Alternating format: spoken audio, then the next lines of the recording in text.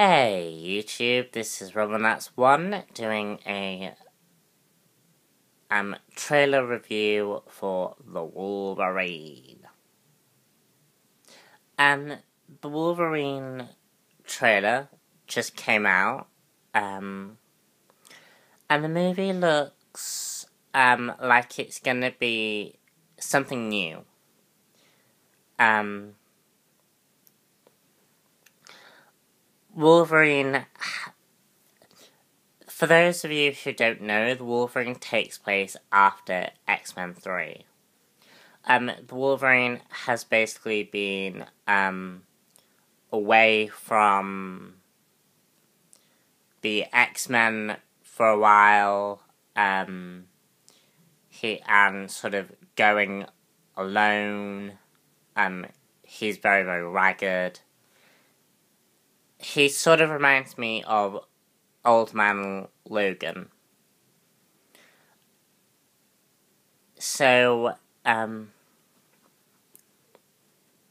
Wolverine is called to Japan by a guy from his past who Logan saved in what looks to me as though it's Hiroshima.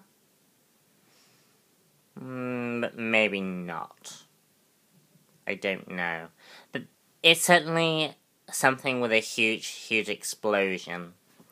Um, that we sort of. We do, in um, Wolverine Origins, we do see Wolverine at, um, you know, at a in like Japan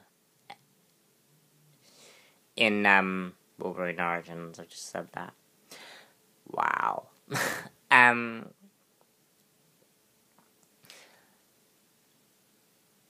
Yeah, and basically they say that they can give Wolverine back his mortality. Um, so it looks to me as though we're still gonna get that cure um, storyline from X Men Three, and but it, but it also looks like we're gonna have like the mix between the cure and a Weapon X kind of thing, where um, Wolverine's powers get taken away, and um, which to me I find a little bit gimmicky because um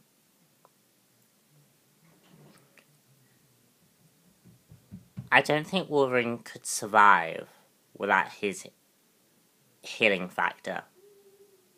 Like, because I thought with the whole claws thing, you needed a healing factor to um, use the ability. Either way, there's something wrong there's something wrong with his powers and Wolverine's going to be on a journey figuring it out. Um, also, it seems that um, Wolverine is the way he is because of the death of Jean Grey. Um, which again I sort of find um,